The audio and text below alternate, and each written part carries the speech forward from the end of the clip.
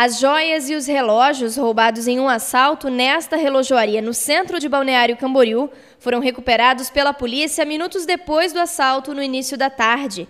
Um dos envolvidos, um adolescente de 17 anos, foi apreendido com um revólver. O uniforme de uma empresa, né? Então, aparentemente, era um cliente que estava na hora da folga do meio-dia que, que veio fazer uma compra.